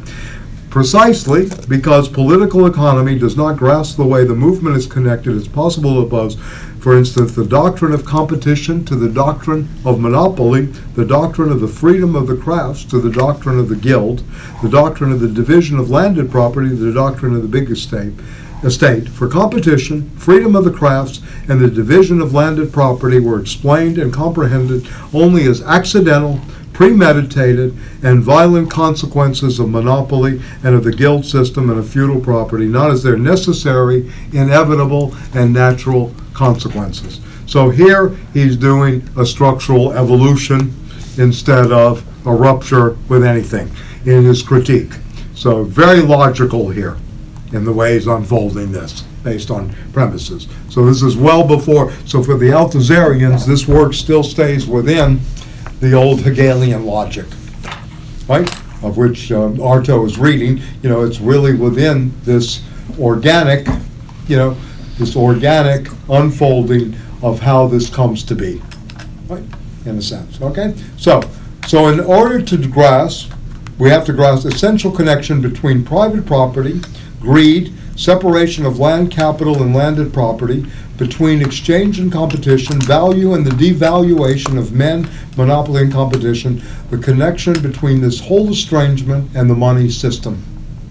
Okay, so very early on, you can see 26 years old, beginning to think this through, right? But thinking it through from very logical Hegelian categories. You can see a kind of organic dialectic unfolding here, an evolutionary dialectic, if you will. Do not go back into a fictitious, do not let's go back to a fictitious primordial condition, Robinson Crusoe, the Crucenades, if you've read Capital, you know, but it eliminates Friday from the equation, right?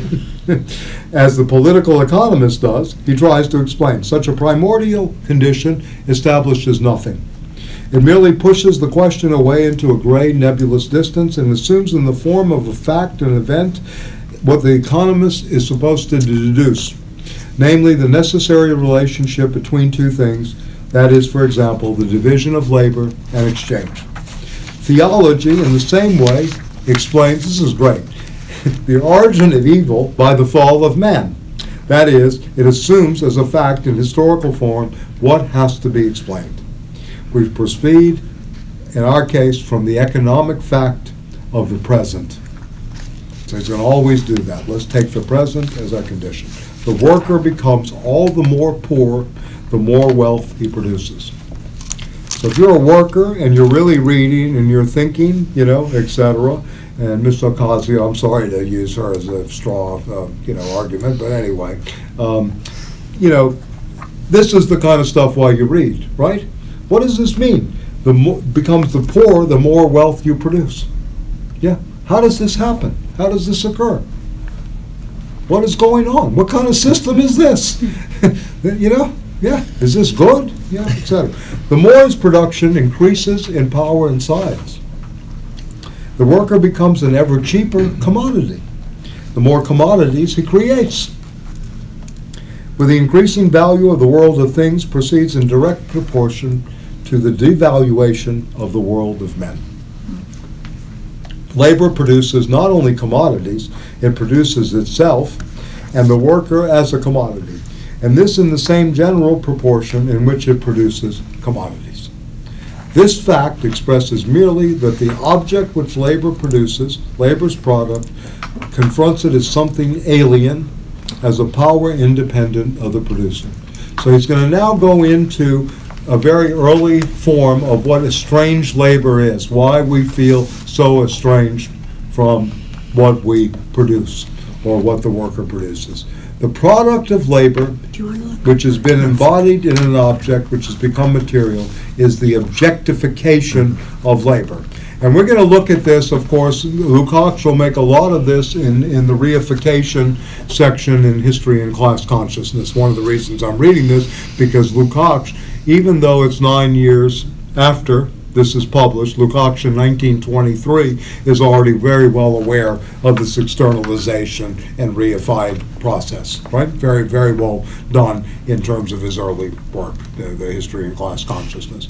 Labor's realization is its own objectification. In the sphere of political economy, this realization of labor appears as the loss of realization for the workers.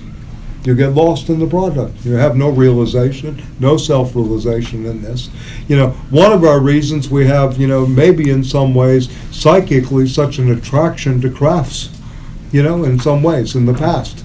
That at least you could feel, you know, the sensuous material. You know, I have some mahogany stuff in uh, my place in Montreal, and you can see the detail of the craftsmanship and all of that, and you wonder, you know, these are people that probably had some fulfillment out of making this, you know, that it was a different kind of uh, sensuous activity before factory labor, before, you know, this kind of assembly line. Well, assembly line's not in process yet, but certainly the factory labor is.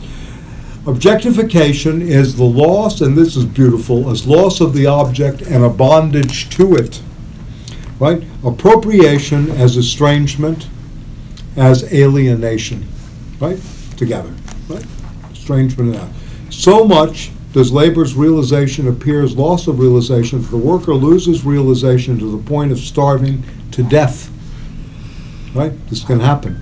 So much does objectification appear as the loss of the object that the worker is robbed, yeah, 26 years old, of the objects most necessary not only for his life, but for his work. Indeed, labor itself becomes an object which he can obtain only with the greatest effort and with the most irregular interruptions. So much does the appropriation of the object appear as estrangement that the more objects the workers produce, the less he can possess. The more you produce, the less you're able to possess, the less you feel part of realization realization processes, and the more he falls under the sway of his product. And what is that product? Capital, right? Okay? Yep. So all these consequences result that the worker is related to the product of his labor to as an alien object. So this is how he's going to begin, you know, his, his analysis of alienation and estranged labor, that the worker is always already estranged from anything that they produce, it does not produce anything in terms of value. You know, we're going to talk about later today, uh, each according to one's needs, each according to one's abilities. This is the farthest thing away from the capitalist mind and from the processor's mind, right? Nothing about the needs of the human, right? And to go back to this. Okay, so um, let me let me do one thing, and then maybe we'll pick up with this. Um, um, you know, uh, next time and, and, and and the Lukács. I want to go to the critique of the Hegelian philosophy, just to point out a couple of things, if you don't mind. And, uh, you know, he'll go on here to talk about alienation, uh, the act of production and the labor process. Um, um, And, you know, um, um, he uses the term on 114, estranged labor thus becomes man's species being, both nature and spiritual species property, into a being alien to him. So Marx is always talking about alienation in multiple forms, right? Alienation from nature, alienation from the spirit, right, if you will, that could be talked about as, is, is religious alienation, or I like to speak of it as Cornel West likes it, in the, the sense of Coltrane's spiritual, you know, notion, you know, of the, of, uh, you know, the spiritual as a part of an artistic moment, etc. But alienation from that as well, alienation from one's labor and product of that labor, and then that produces alienation from oneself, you know, or even building the self, ultimately to alienated relations in the society. So there seem to see be five basic processes in alienation itself, right? And this is strange labor. Okay, and I'm, I'm, I'm riffing off of thi- this, right? Is this it? Yeah, the critique of the, yeah. So strange labor, both nature and spiritual speech, into a being alien, into a means to his individual, a means, not his individual existence, but as a means. And this is where instrumental reason and instrumentality comes in too. It estranges man, his own body, as well as external nature, his spiritual essence, his human beingness. So for Marx, the spiritual nature was human beingness in the humanistic Marx, right? In, in, in, in this way. Also, an immediate consequence, man is estranged from the product of his labor, from his life activity, very important, life activity, and from his speech, the estrangement of man from man, the alienated relations that we enter into, you know, both contractually and just in everyday life. Yeah, always these alienated, right? Okay, so he asks questions. He's very funny. 115. If my own activity does not belong to me, if it is alien and coerced activity, to whom then does it belong? To a being other than myself. That is the capitalist. Of course, this being? The gods. To be sure, in the earliest times, the principal production, you know, appears to be in the service of the gods, and the product belonged. However, the gods on their own were never the lords of labor. No more was nature. And what a contradiction it would be if the more man subjected nature by his labor, and more the miracles of the gods were rendered super, superfluous by the miracles indus- industry, the more man would renounce the joy of production and the enjoyment of the product in favor of these powers. The alien being belongs in whose service it is done, and for whose benefit the product of labor is provided, can be only man himself. If the product does not belong to the worker, then it can only be because it belongs to someone other than the worker. If the worker's activity is a torment to another, it must be a delight. How beautifully this was produced, right? I didn't know they worked 10 hours to do this little thing all day in the sweated, you know, factory so we can, you know, etc.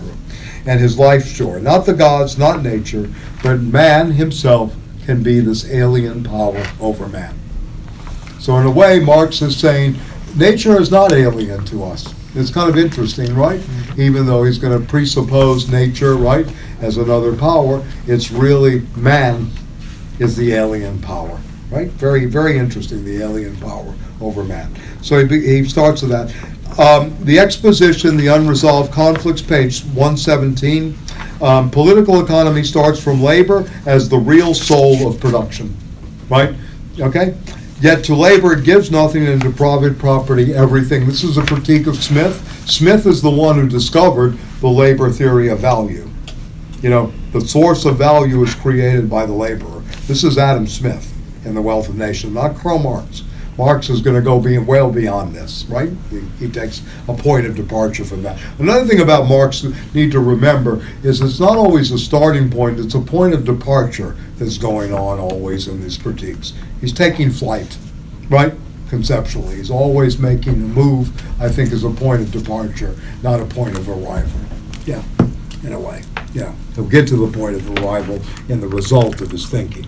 Okay, and then the relationship, 118 of estranged labor to private property, that the emancipation, and this is the first time he's going to start using this kind of language, of society from private property, that is, from servitude, is expressed in the political form of the emancipation of the workers. So this is what Arto was talking about earlier, the invention of the proletariat.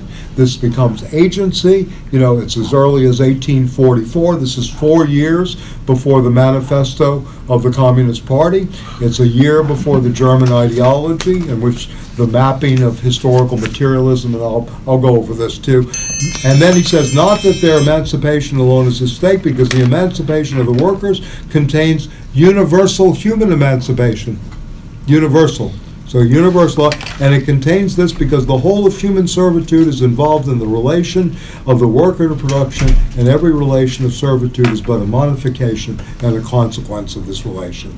Okay, so this, this is important to remember, right? And then he wants to solve the general nature of private property and the estrangement of labor at the end, and then the manuscript breaks off, you know, at this point on 119. Okay, just a couple of comments, and then I'll let you uh, uh, go here. Uh, Critique of the Hegelian dialectic philosophy, whole page 170 this is really the first time he begins to really engage Feuerbach, right? Uh, um, you know, as a thinker, as a transitional figure from Hegel's abstract universalism into a concrete, you know, sensuous materialism, right? He's going to use Feuerbach as a critique of the Hegelian dialectic. I think I'm going to need more more time with this. Um, I think what we can do is we can read the Lukács alongside of this too for next week, the reification, right? As well as, uh, you know, go over this. But page 172 is Feuerbach on uh, the one who makes the critical attitude. He doesn't say the overturning, but a serious critical attitude, right? Marx is not Feuerbachian, even though that's a step, right, in terms of the critique of Hegelian idealism. This is done in the name of sensuous materialism and what he calls, um, you know, traditional materialism in Feuerbach. And this is in the 11 theses on Feuerbach to be read alongside the, the, what he's doing here, right? Okay, and his great achievement, Feuerbach, and he has three three categories for Feuerbach's uh, achievement. Philosophy is nothing else but religion rendered into thought, and nothing truer is said. The relationship between philosophy and theology, philosophy for the most part, in the, in the history of ideas and how it's disseminated, and the history of systems of thinking, there's no real tremendous separation between theology and philosophy. Marx is absolutely correct here. You get this in the Aquinas system, you get this in the, the versions of the ontological proof for the existence of God in Descartes. You begin to see this in Kant, God, man, and world, you know, the metaphysics that stays up. So this is really very, very true what he says here. Not that we should get rid of philosophy, you know, I mean, it's the end of philosophy, maybe the task of thinking, but at the same time, he is critiquing up to this point everything, and that Feuerbach's great contribution is to show uh, the estrangement of the essence of man, and, and that Feuerbach also gives the establishment of true materialism and real science makes the social relationship of man to man not mediated by God or by the theo- theological mediation anymore. It's man to man. So this is the beginning of this philosophical anthropology that begins, you know, in the early humanistic Marx, the relationship of man to man. And who is Feuerbach? Feuerbach was Ludwig Feuerbach, who wrote a, a wonderful little piece called The Essence of Christianity. And he also wrote for theories for the reform of philosophy. He was translated from German into English by George Eliot, the writer, um, you know, uh, Daniel Deronda, Middlemarch, etc. And um, um, he was a German philosopher who really came up with, um, you know, a new kind of materialism and inverts Hegel. You know, he's the one who really tries to stand Hegel back on his head, uh, you know, on his feet, right? Inverts Hegel, you know, to turn him upside down and make him on the ground again. Which and Marx takes his point as future. He does say that, yeah, yeah, but he's getting this from Feuerbach. Oh. Feuerbach says the gods are a projection of man. not the other way around. Up until that, you know, the outside was God and gods, right? Coming back in. But the the specul, the prop, the, the the projection, Feuerbach is interested in projection of man is the one who invented God, not the way around, that God was invented, you know, invented man. So this was, this came as pretty earth-shattering to most of the people, because you have this movement, and I mean, this is something historically should be done. The young Hegelians, some were theological Hegelians, right? And you had this, this, all these moments in German philosophy in which, um, you know, the theological Hegel was put out there, you know, that somehow Hegel's absolute was really God and absolute knowledge, and it was a justification for this, right? That the sphere of religion meets philosophy, and then ultimately they culminate in this spherical unfolding into God, you know, at the end of the dialectical journey, right? The phenomenology of spirit, which I recommend, and maybe we should do it in these classes, you know, the Hegel, the Hegel's phenomenology of spirit, because this is the book which Marx is riffing off of here very much. It's not so much the the science of preface. logic. We could do the preface, or we could do sections of it too, because he's gonna, he's gonna critique this, you know, he's looking, and one thing I wanted to point out to you, um, when you look at these sections, the phenomenology, one page seventy-three, that is the phenomenology itself. That's not Marx. That's what the phenomenology is divided into, which begins with self-consciousness, right? Consciousness, certainty at the level of sense experience, this in meaning, perception, force and understanding, appearance in the supersensible world, self-consciousness, right, etc. The three shapes of consciousness, stoicism, skepticism, unhappy consciousness is basically Christianity. Three, reason, reason certainty and reason's truth, process, self-consciousness, rational, etc., pleasure, necessity, law of the heart, frenzy of self-thing. So this is actually the progression, the table of contents that Marx is reproducing in his note, in his manuscripts, that this editor decided, we'll leave this in instead of just saying summary of, you know, Hegel's uh, uh, table of contents. Then the encyclopedia, beginning with absolute knowledge. So what you're, what you're reading here is basically a long, a commentary, if you will, on the phenomenology of spirit, right? Or of Geist, which some people are now translating as community, the phenomenology of the community, you know, as such, right? So anyway, he's gonna go through this, and man is objective, sensuous, and what Feuerbach contributes to this. So, um, this is also something that Lukács does very well, à la Marx, in the section on reification. So hopefully there'll be some connections there. Yeah, yeah, okay? So, I mean, maybe I should end there unless there are any questions or comments, uh, uh, you know, at this point. I mean, I think this is a good transition. Look, this is a, this is a kind of transition from Gramsci as a humanist Marxist to one still believing in agency, right? You know, is not a quote structuralist Marxist, but a, a thinker of agency and praxis to Marx, the early Marx, who's also thinking agency and is beginning to look at the labor question, you know, in a real way, and this is where he begins. And then uh, thirdly, the movement into another humanist Marxist, Lukács, the reification essay. Yeah. Doing Lukács next. Yeah, month. reification, yeah. And I'll, I'll inform you if uh, I'm going to be here or not, but I'm- I'm looking So what, are- what, are we reading more in the manuscript I for would read next the week? critique of the Hegelian dialectic, which was for today. And I'll send out a summary and I'll, I'll enhance it since we didn't, you know, do, uh, all we should have done today in terms of Gramsci. I'll, I'll put So out some CD other things in the- on the website, you know, to do You that. know, I couldn't Yeah. get there, so. Okay. So you're you're gonna put out the the readings on the. Yeah, I'll put the web, thank you, David, thank you again, okay. Yeah, and, uh, yeah, I'll put the readings out on the website, but they're, they're already, yeah, I'll put the readings on the website as well as uh, a summary of today as, uh, you know, and anything that I passed over just because of restrictions of time. I'm unfortunately much more accustomed to three She and a won't half come to hours this stuff. too. but I'm- I try to- More like four and a